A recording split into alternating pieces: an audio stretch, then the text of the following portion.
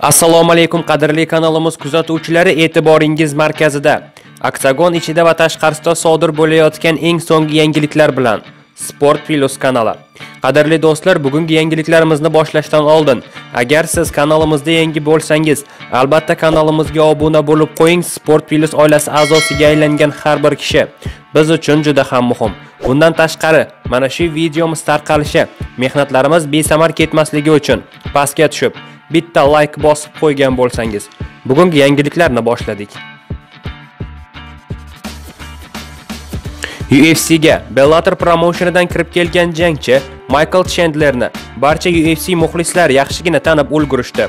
Mana endi uning jangi ko'pchilik muxlislar va ommaviy axborot vositalari tomonidan katta qiziqishlarga sabab bo'lyapti.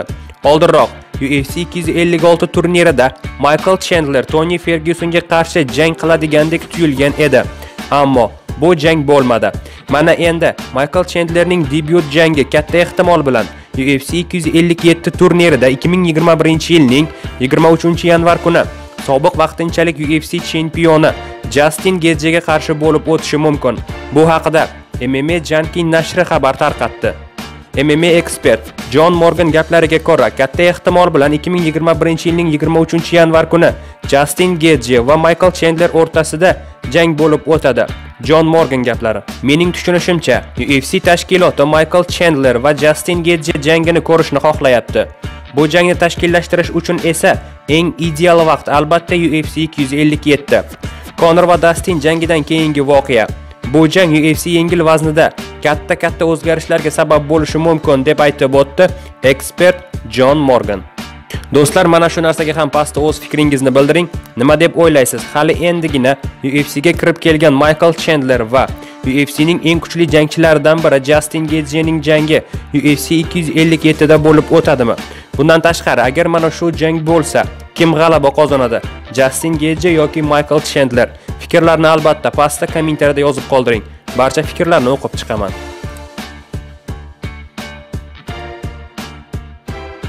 UFC promotionning eng kuchli jangchisi Habib Nurmagomedov UFC 254 turnirida Justin Gejini mag'lubiyatga uchratganini barcha yaxshi bilsa kerak. O'shanda ko'pchilik muxlislar o'rtasida Justin Gage birinchi raundni o'zining hisobiga yozib qo'ydi degan fikrlar ham paydo bo'lgan edi. Ammo ikkinchi raundda Habib Nurmagomedov Justin Gageni uxlatib qo'ygandan keyin birinchi raundda kim g'alaba qozonganining ahamiyati qolmadi.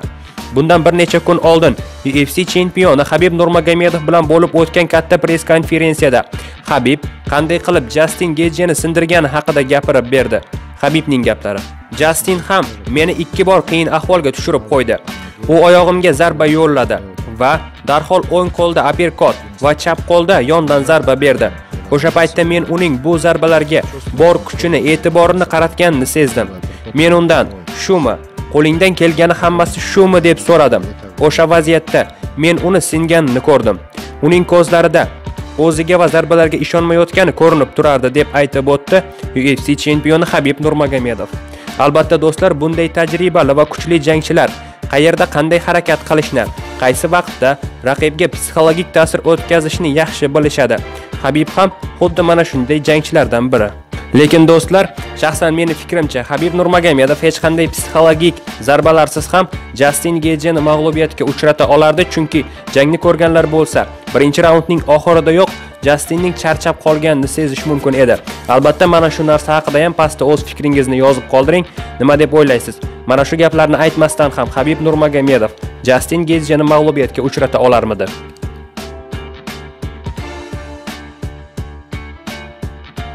Mashhur grappling ustasi Gary Tonan UFC promotion chempioni Habib Nurmagomedovni parterda uslubga tushirib mag'lub qilaman deb aytib o'tdi. Gary Tonan gaplari. Menimcha, biz Habib bilan toza grappling tushsak, shubhasiz Habibni mag'lub qilaman.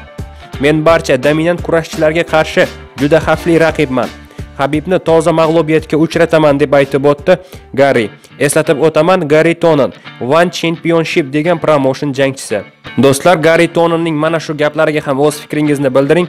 Nima deb o'ylaysiz? Hali Habib Nurmagomedov darajasiga, nafaqat Habib Nurmagomedov, balkim UFCning top jangchilari darajasiga chiqmagan Gari Toninga o'xshagan jangchilarning Habib Nurmagomedovni yana parterda mag'lubiyatga uchrataman degan gaplari qanchalik to'g'ri gap? Barcha fikrlarni pastda kommentariyada o'qib chiqaman. Shaxsan meni fikrimcha, agar Gari Tonon Habib Nurmagomedovni mag'lubiyatga uchratadigan darajada kuchli jangchi bo'lganida, biz uni UFC chempioni sifatida tanir edik. Qadrli do'stlar, mana videomiz yakuniga ham yetib keldik. Videoni oxirigacha ko'rganlarning barchasiga kattakon rahmat. Video yoqqan bo'lsa like, yoqmagan bo'lsa dislike bosib qo'ying. Keyingi roliklarimizda Sport Plus kanalida ko'rishguncha. Xayr, sog' salomat bo'ling.